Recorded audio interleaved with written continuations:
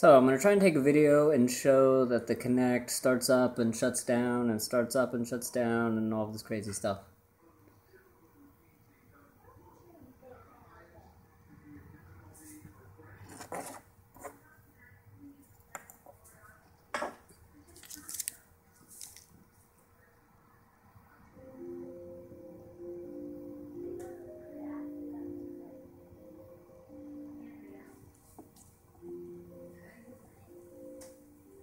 Right, it'll boot up, it'll see me.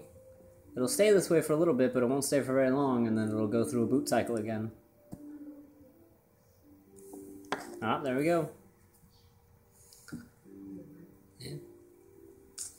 I don't know. I don't know. Anybody else have Kinect issues like this or anything? I am in the preview program, so hopefully this is just because of that. Um, we will see. But yeah, so there's a little video of it doing crazy stuff.